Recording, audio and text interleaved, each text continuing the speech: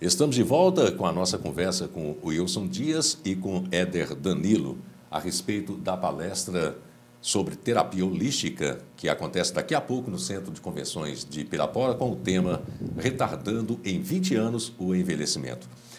Esse retardamento de 20 anos no envelhecimento, a pessoa consegue isso em nove meses? Em é nove um meses. período de uma gestação? Exatamente, período de gestação.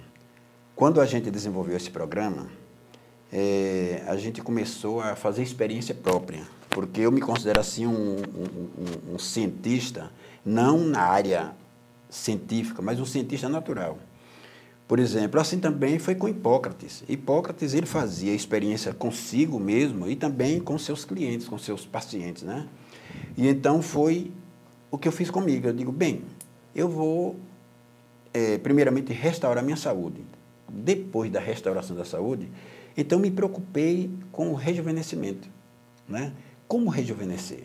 Aí comecei a fazer pesquisas sobre alimentação, quais são as ervas, e hoje a gente já tem condições de rejuvenescer a próstata, entendeu? Quer dizer, eu não tenho vergonha de dizer que com 26 anos eu já era impotente, com 26 anos de idade, já não, não tinha mais potência sexual, e depois atingir, digamos assim, o, o, o, patamar de velhice, que já deveria estar pior, entretanto, eu consegui restabelecer essa aí, porque, então, é uma, uma, um indicativo de que realmente houve o rejuvenescimento, houve o, reju, o rejuvenescimento, né? E a própria ereção. Isso.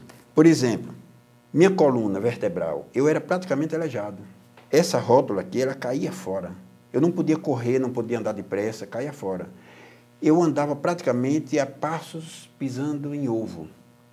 Hoje eu posso, eu poderia até exibir se você quiser, eu posso beijar o pé, eu posso Sim. descer e beijar o pé, posso colocar os pés na cabeça, andar com os dois pés, entendeu? E Isso assim você conseguiu através da holística? É, através da, da, da medicina depois do, desse processo de rejuvenescimento, que a gente vai lançar esse programa hoje, logo mais à noite, esse programa, esse, como funciona esse processo e o que você deve fazer para você rejuvenescer. Qual o tempo que você toma das pessoas que vão assistir a sua palestra hoje? Olha, por exemplo, a gente toma um tempo assim de, no máximo, 40 minutos. E aí a gente vai dar espaço para as pessoas fazerem suas perguntas, um para a gente então.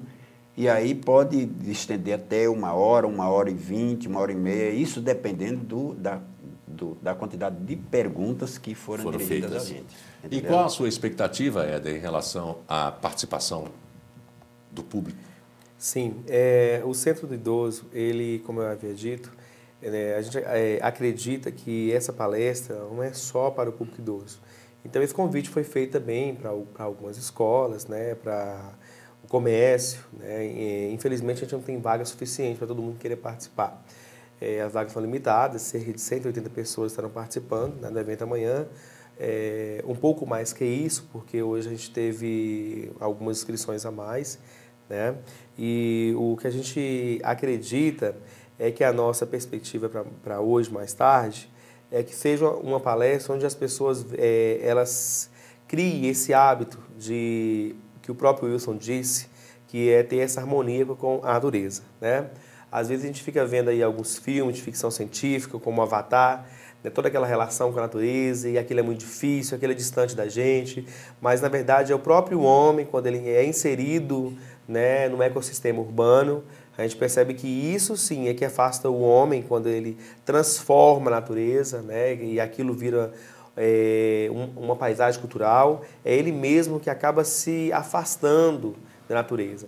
Então, o que a gente está propondo, na verdade, é uma aproximação maior do meio ambiente, onde as pessoas criem essa harmonia, possam sobreviver de forma sustentável nesse meio ambiente, aliás, um ambiente como um todo equilibrado.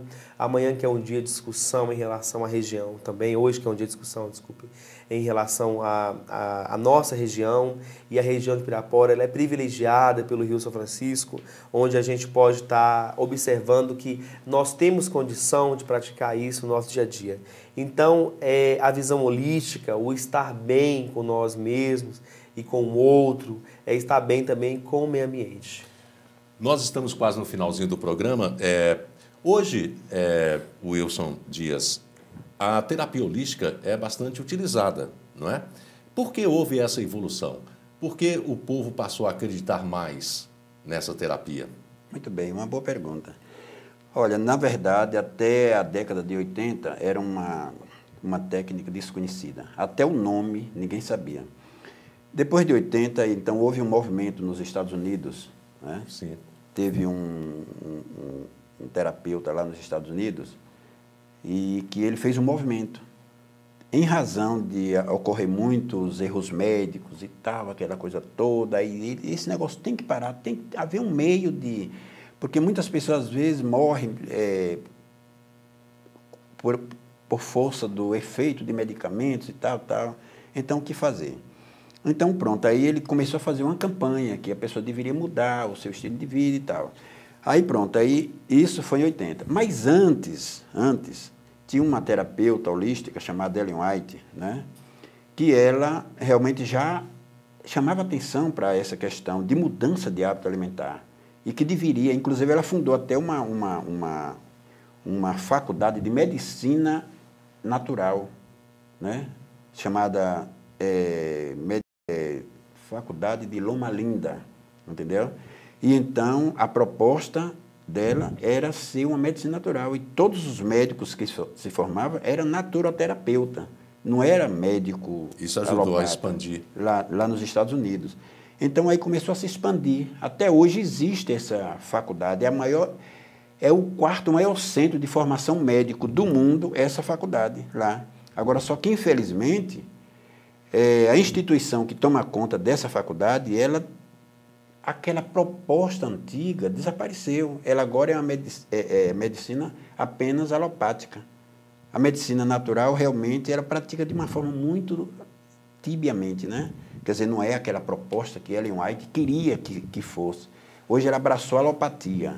Isso aconteceu na Segunda Guerra Mundial, quando Hitler começou a matar os judeus e tal, aí por conta dessas experiências, dessa matança dos judeus, é que a medicina prosperou, ela, ela, ela ganhou força, porque ela passou a ser uma medicina tecnológica, tec, tecnicista, né? Uhum. Que antes era uma era uma empirismo. Antes era feitiçaria, bruxaria. A medicina até a Segunda Guerra Mundial era prática de feitiçaria, né?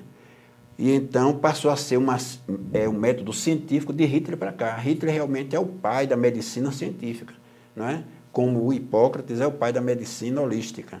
Então, existe um processo de desenvolvimento que, nesse, a gente vai lançar um livro amanhã, é, Resumo Histórico da Medicina, que conta toda essa história. Bom, o nosso tempo, infelizmente, acabou, não é? Mas se vocês querem mais informações, o assunto é extenso, não é? Nós ficaríamos aqui o dia todo falando a respeito, inclusive quando ele fala que Hitler é criador de uma medicina.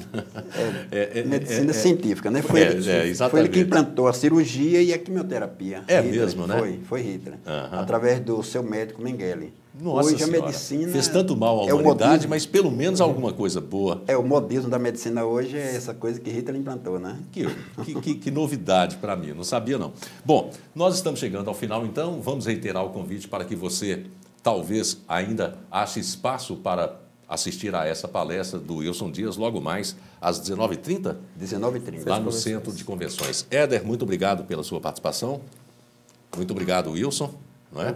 Estaremos lá um prestigiando, acompanhando a sua palestra logo mais. Ok. Muito Seja bem-vindo a Pirapora, fica à vontade. Muito obrigado. Você permanece aqui o fim de semana também. Isso, com certeza. Então tá. Okay. E para vocês em casa, muito obrigado pela audiência, fiquem com Deus e até amanhã.